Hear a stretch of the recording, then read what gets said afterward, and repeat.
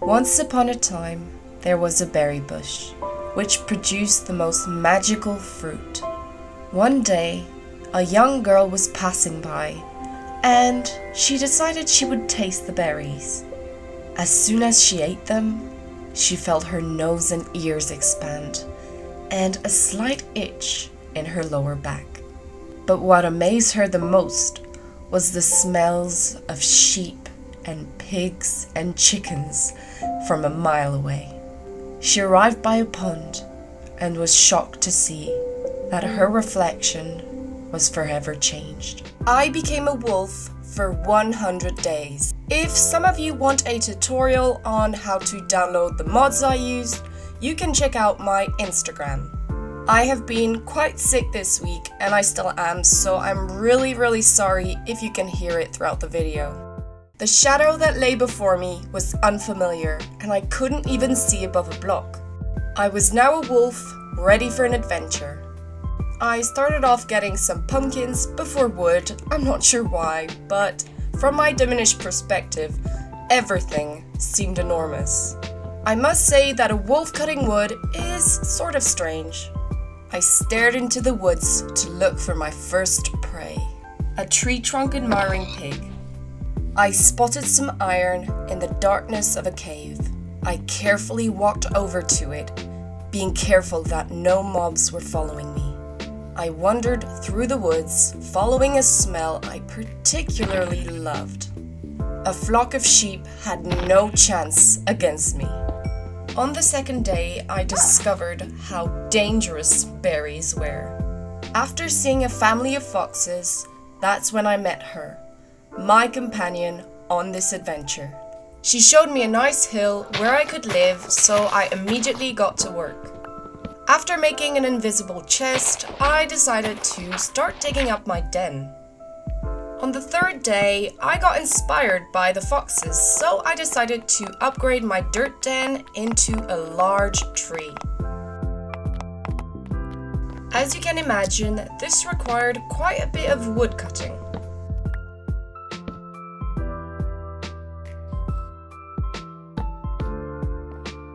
On day 4, I moved all my belongings from the old den to the new one. I decided to make the most of my small size by going mining. Being one block high, I had the advantage of only mining on level 12, which meant that I covered more ground much faster. I arrived at a lava lake and I was so happy to find some diamonds. On day 5, I literally spent the whole day working on the tree because, trust me, doing this tree so early on in the game was really, really hard. But it was totally worth it.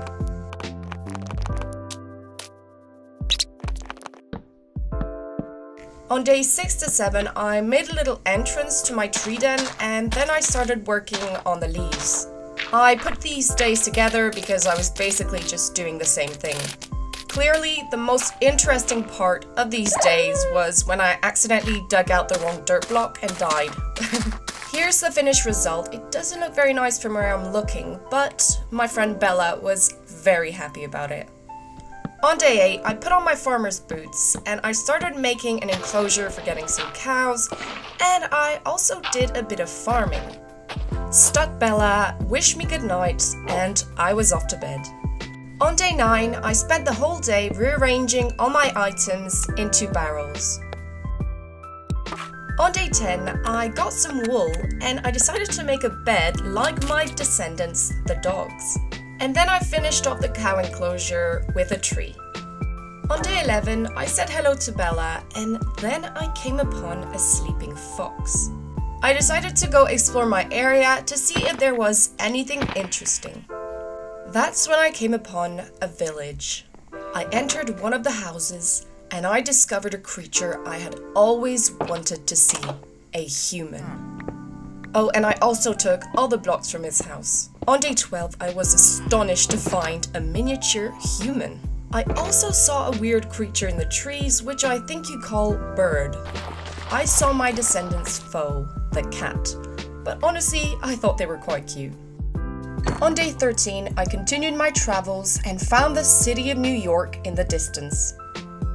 The next day, I found an abandoned portal and looted the chest, and then I took a lunch break. And later on, I decided it was time for a snack break. When it was time for tea, I killed some more sheep, and then I realized I had orphaned a poor baby sheep, so I just stayed there, not knowing what to do. If you're wondering what a wolf riding a horse looks like, you will know very soon. On day 15, I spent the whole day finding some cows and bringing them back safely to the enclosure. On day 16, I did quite a bit of terraforming because I kept taking damage by falling off the hill, so I made a little slope. On day 17, I mainly did some farming, wood cutting, terraforming, etc, etc. The next few days, I went back down mining and I made a time lapse because I know a lot of you enjoy just seeing me mining.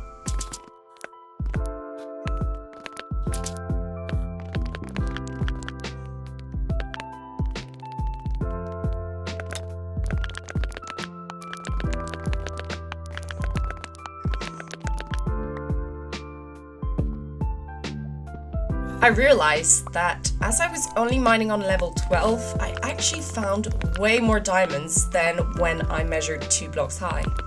So if any of you are interested in knowing how to do that technique, even with the normal, you know, 2 block high player, um, I might do a tutorial on my Instagram too, so probably this week or next week. Because even without having to be a wolf, there is a technique to only be able to mine on level 12 or one level.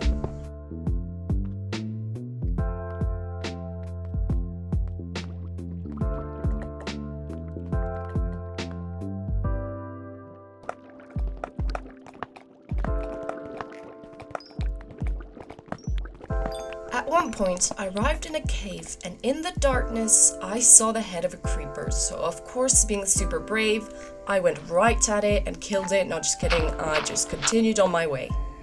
I then started hearing a lot of zombie sounds above me, so I carefully went up. I was actually quite scared of ending up under and all the zombies pouring on top of me, but I mean, I expect there would be cobblestone, so I would see. Nevertheless, I found it and I arrived on top and there was actually a spider spawner. I killed off all the zombies and blocked off the entrance so that everything would be nice and safe. I was really glad I had found this spawner because it meant that I could use it for XP. On day 20, I came across this creeper and I did not want to die because I had 25 levels, um, so I just made a mess. Of course, I had to block off the hole and then I decided to have a little stroll in the forest. Only to meet up with the worst surprise creeper I have ever had. He was just hiding behind that plant. I could not see him. But to end up the day on a good note, I was able to make the enchanting table. On day 21, I spotted the fox again, and luckily there was one not too far. I tried giving them both berries, hoping that they would have a baby, but I guess they were too far, so I had to find a new solution. I stopped sneaking and one of them ran off uh, in the wrong direction, making it super hard to get them close to each other. He even went off in the river to kill some salmon, so I clearly did not know what to do. By the end of the day, I decided I would put one of the foxes in a hole, and I felt a bit bad when he just, you know, fell in the hole. On day 22, I found the escapee and I started digging out a tunnel um, to reach the other fox. And this took the whole day, but I managed and I was able to breed them. I had to destroy my whole farm because I wanted to become the first wolf to ever build a house. This wouldn't be a huge house or a beautiful house, but it would be my house. I used the materials that I had, like spruce wood and stone, and of course the terracotta that I had stolen from the village. Here are a few facts on wolves. In the wild, they can live up to 13 years. Wolves live in caves, cavities, and between rocks, and they are quite social animals that have a specific hierarchy within their packs. So the dominant male and female pair, called the alpha wolves, rule the pack. You probably already knew these facts, but did you know that unlike many other species, the whole wolf pack raises the pups together? And a funny fact is that wolves are actually not very efficient hunters. Um, so that is why they always hunt as a pack. And for those interested, wolf in French is loup. On day 27, the Wandering Trader spawned, so I was able to get some leads, which meant that I could bring back the fox pup. Oh, and this little guy was so lazy. I struggled to get him to um, get up, so I tried, you know, removing some leaves and everything. It was really, really hard, but totally worth it. I now had a cute companion. On day 28, I went to get the second pup from the fox den. He was even worse than his brother, but I quickly figured out that I just had to pull on the lead hard enough. When I said I quickly figured it out, that's not true. It took me a bit of time. I ended up the day with a bit of relaxing fishing. And then, of course, I realized that I was not recording when I got my first enchantment, and as it was a really good one, it was Fortune 3, I felt super, super bad. I thought that people might think whatever, so I just left um, the whole mining session for you. I don't know why, but I always feel bad when I forget to record. I'm so scared that people are gonna think something about me, so yeah, I don't know. I know it's not a big deal, but I'm always worried that you will think that I did it on purpose or... ah la la, silly tootsie. Nevertheless, don't worry, this was the only time I forgot to record, so I think, yeah, it just stayed in my head, so I was extremely careful after that. I was now able to craft myself an entire diamond armor. This is just so satisfying to do. I enchanted my diamond pickaxe with efficiency 4 and I only got efficiency 4 sad noises. and then it was time for the most interesting part of that video, which is called AFK and getting XP being the pro player I am, um, I thought, why not make a mob spawner? Like that I could, you know, get XP from the mob spawner and the zombie spawner. And then I remembered that I was underground and that it would not work because there were mobs spawning everywhere. Yeah, I am a pro, okay? So my main enchantments were, for example, protection 4 on my helmet. Uh, I also got looting 2 on my sword, but it had sharpness 3, which wasn't very good. And at one point I went into my AFK hole and I started taking so much damage I almost died. Like this, whew, it was scary. And then I got this amazing bowl. I was so, so happy, you can't imagine. Day 45 was the big day. I was going to go into the nether. I went into the portal and I realized that I had spawned right next to a bastion, which was awesome. And then I saw the hoglins and I went back in. being extremely brave, I decided to destroy the whole portal um, to basically build it further off, hoping that it wouldn't spawn near the hoglins again. And I almost set fire to my bed. On day 46, I built the portal again a bit further off, I rounded up all my courage and went in and went back out immediately. Courage is not the absence of fear, but the triumph over it. Yeah, that's what I kept telling me. come on, come on, Tootsie. You can do it, you can do it. I know I'm not in hardcore, but if you're wondering why I didn't want to die, it was because I still had things to enchant and I did not want to start all over again. Thankfully, the hoglins were being hunted down by the piglins, so I had time to build a nice and safe cobblestone base. From days 47 to 48, I decided I wanted to raid this bastion. I was going to use my small size to slip I was going to use my small size to slip through the walls and avoid as much danger as possible. I was able to easily shoot at some piglins, and I slowly made my way down to the treasure. I had to urgently get rid of the magma cubes because they would be the ones that would push me into the lava. I made my way over to the spawner and destroyed it. I started shooting at all the remaining magma cubes, and then I thought I saw a glow squid. Yes, very, very logical. If you're wondering why I get a kind of subtitle with written um, identity, it's because I'm using the identity mod. When I arrived at the treasure, I started stealing the gold blocks and I could hear the piglins getting super, super angry. Clearly, being one block high was a great advantage in this situation. When I'd gotten all the gold blocks, I made my way back up to explore the nether a bit further. On day 49, my goal was to get as far away from the Crimson Forest as possible, so I decided to go to a warp forest to start getting some ender pearls. I was delighted to find a nether fortress, but then I realized there were so many mobs on it. So many. Maybe you feel like I'm exaggerating, but I have never seen a nether fortress with so many monsters on it. And with my four hearts, I think I was going to have to say goodbye to my levels. I barely approached the fortress that a blaze was already attacking me, so I had to find another way. And clearly, the only way was to make a tunnel over. The motto for this video should be better safe than sorry. But yeah, I slowly and surely made my way down to the fortress. I use my wolf skills to make a little tunnel, being very, very careful. It was actually a great opportunity to get loads of bones from the wither skeletons.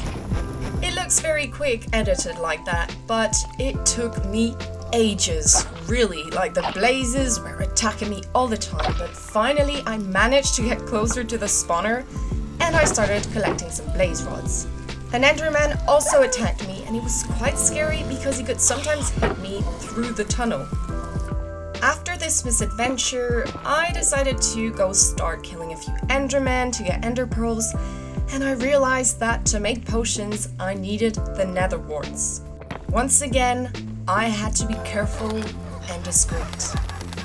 I used my stealth to sneak under the Nether Fortress. The mobs had no clue of my presence, and after quite a while, I managed to find the nether warts. And my game sounds are not aligned great.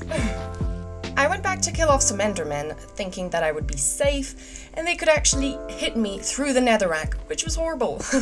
but thankfully, I had all I needed, and I could finally return home. Now that I had some bones from the wither skeletons, I decided I would tame Bella and show her around my house.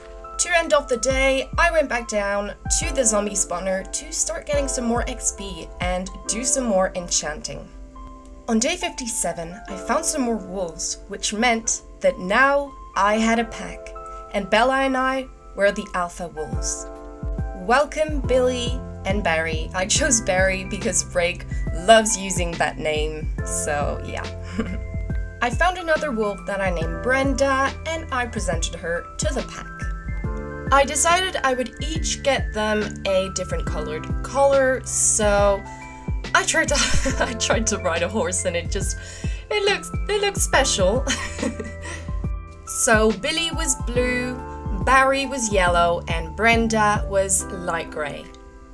On day 60, I decided I would restore the farming area and Mr. Bob the Pig came along as soon as I had potatoes in my hand, so I decided to let him live in the house. I had originally made that house if ever I was going to adopt a human, but for the moment I didn't mind if Bob lived in it.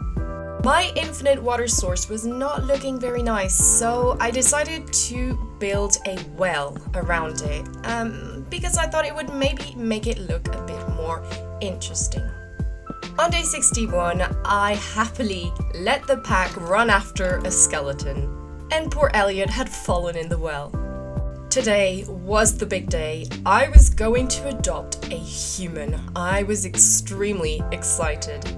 Since I was a little cub, I had always wished to adopt a human because I had heard that they were just fun and kind creatures. I tried to lure them in a boat, but the members of my pack kept getting caught into the boat.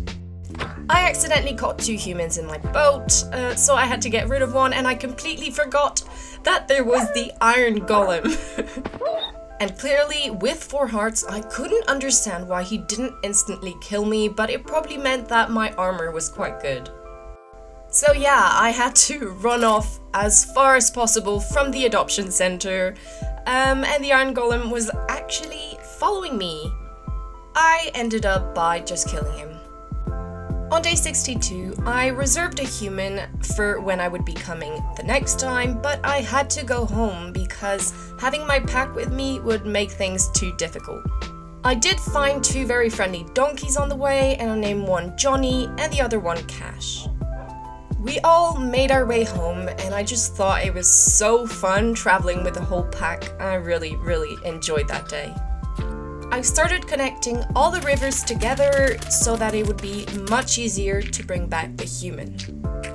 On day 63, I arrived back at the adoption center and I lured a human up with a profession block and we were off.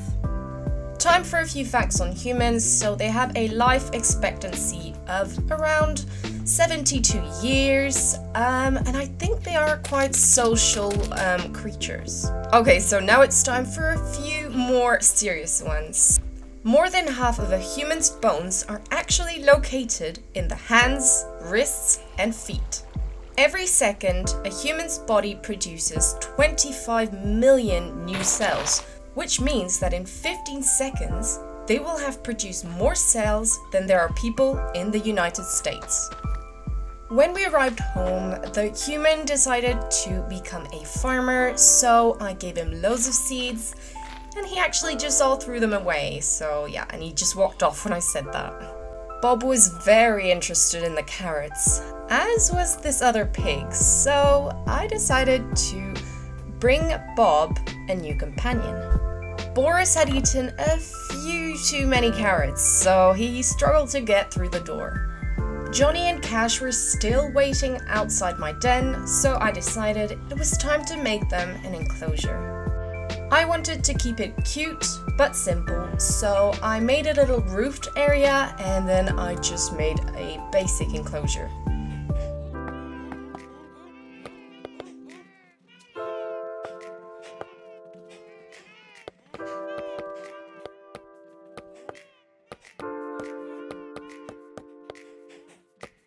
The next day, I finished off the enclosure and I was able to bring the two donkeys to their new home.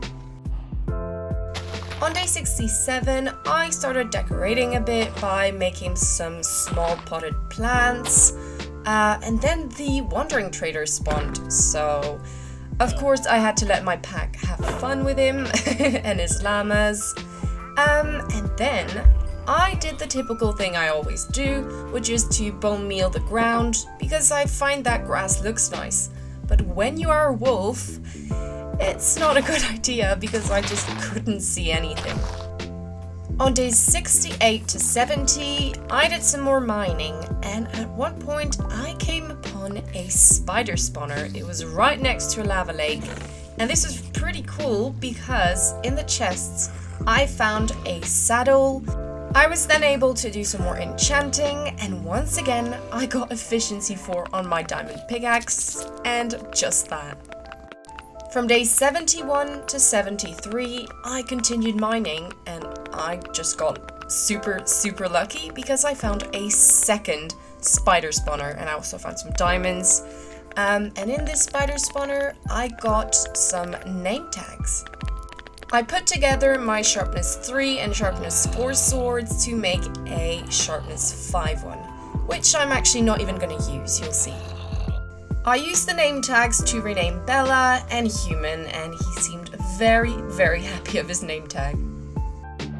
I started preparing some potions, but I still needed some phantom membrane, and that night they spawned. I thought it would be a good idea if I let the pack um, attack the monsters with me, but you will see that it was not. Everything was going fine, but what happened was that suddenly a huge group of zombies all came from nowhere. Um, maybe there was a spawner or something, but there were so many zombies and then I saw wolf slain by zombie, wolf slain by zombie. And I couldn't believe it. I had lost my pack. And I was really feeling terrible, like really not good. And the zombies kept coming, so I had to keep killing them and killing them because I couldn't sleep. Because then it would just say there were monsters nearby.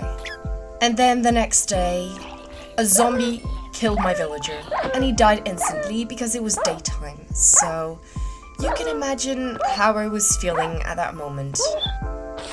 I know Minecraft is a game and nothing in it really matters, but I can promise you that I was um, a bit disappointed and maybe a bit more than a bit.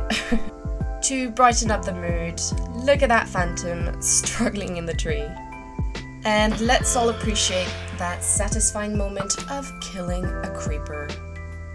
As you can see, I unlocked the creeper identity and I actually really wanted to do like a kind of 100 day as a shapeshifter video, but another great YouTuber called Corinthius, I think you pronounce it like that, did it, so I just didn't want to take his idea. But what happened just before was that um, Johnny and Cash managed to get out of their pen, but I thankfully found Johnny, so I went to get him a girlfriend and they had a cute baby mule. The loss of Human was very hard on me and I missed his company, so I decided I would get two of his friends. As for my wolves, the only one that was remaining was Bella because she was still sitting inside my house. I looked through the forest for some other wolves, but in vain. On day 77, I happily bought back the second human from the adoption center, and I even found two lovely horses that I bought home also. And I expect you've understood by now that it is impossible to maneuver a boat when you're a wolf because you just cannot see above it. One of the humans had a profession, which meant that he couldn't care less about all the other profession blocks, so I was just hoping he wouldn't get killed by a zombie. There is a French bedtime story called Le Petit Poucet, and the reason I'm talking to you about that is because this little boy in the story, he's lost in the woods and he puts some little white stones on the floor to, you know, find his way home and I thought that bringing the villager over with some potatoes really reminded me of that. He's just finding his way home with potatoes. And I know someone covets potatoes. On day 79, I prepared for the Ender Dragon fight, and by the end of the day, I decided to ride Johnny, and it was quite funny, honestly.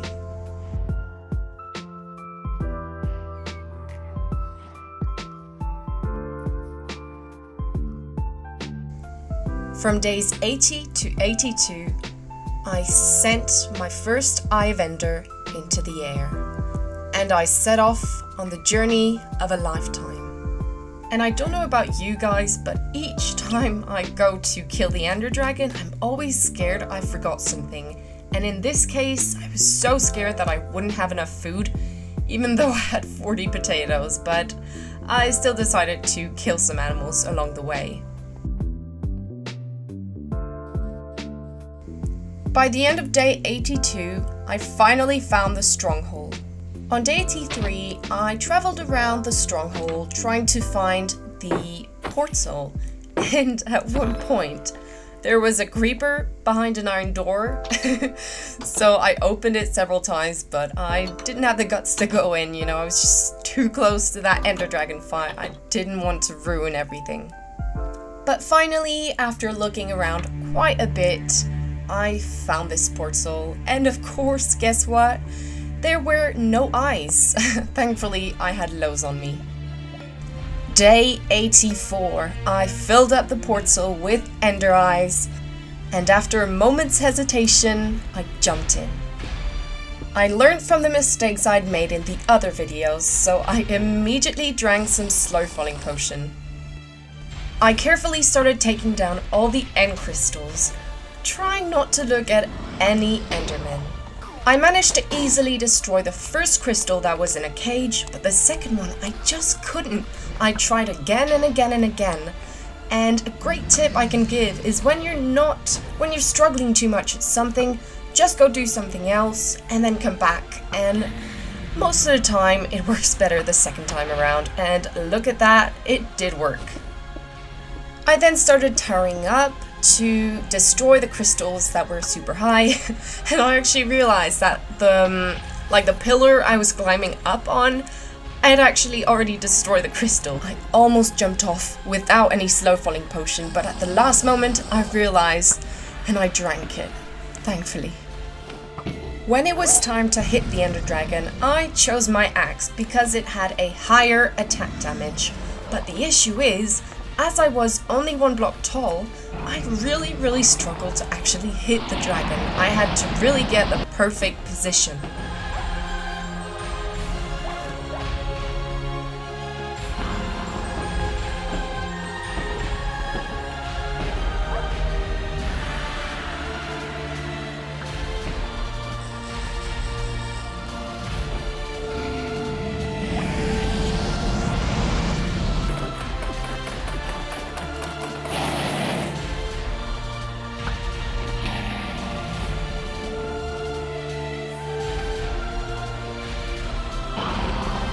Finally, the dragon was defeated. I went to get the egg and it actually fell into the portal, so I jumped in. I looked around everywhere and couldn't find it. Um, so maybe you can tell me if you know where it could have gone because then I went back in and had a look everywhere and no sign of the egg. so that is the egg mystery. When I came back out, Mr. Wandering Trader was waiting for me, but not for long. And then from days 86 to 87, I made my way home. And I must say, it does feel great to be safe and home. Billy, Barry, Brenda, and Human were still a lot on my mind, so I decided I would make them some statues to remember them. I made these statues to honor them and to thank them for keeping me company and for just making me happy throughout these 100 days. I wanted to point out that the villager statue, I got the inspiration from the internet, and that Ray came along to see um, what I was doing when I was editing, and then he saw the statue and he said, Oh no, I did the same in my episode 1 of the SMP. so yeah, nobody copied nobody. I mean, like, we, we didn't copy each other, it's just we got the inspiration from a build on the internet that was really cool. As I had a lot of wool, I decided I would make some cute mushrooms. They're really, really simple, but I thought they, you know, added a nice cozy feel to my area. From days 94 to 99, I decided to go back to the stronghold because I really wanted to get an elytra. It was really handy to be a wolf because I could fit in the end portals super easily. And then there was the typical bridging from island to island and then stressing when you sent an ender pearl. Well, maybe I'm the only one who stresses, but yeah, I've messed up a few times with the ender pearls. The first end city I found did not have a boat, but I still made my way up to get some loot. That just reminded me that someone wasn't very happy with me in the comments when I said uh, the boat. but then, not too far off, I found a second end city, but this time it had a boat. Of course, I struggled a little bit to try and kill off the two shulker boxes, but once it was done, I just had to make my little bridge over and I could get the Elytra. There was just that little shulker remaining, but he did not last long. and in one of the chests, I got this crazy diamond pickaxe. With my Elytra, I flew over to the little portal thingy and almost got killed by an enderman. This was horrible. Really, you cannot imagine how I was feeling in the moment. But for some reason, I survived. Um, and then when I came back in the overworld, I had forgotten to put a boat. But that was actually all in my favor because I arrived home super fast. And I was able to try out the Elytra on day 100, which was so much fun. Thank you so much for watching, and I wanted to tell you that you mean a lot to me. You make me very happy, being so supportive as you are. I mean, guys, I really, really love you.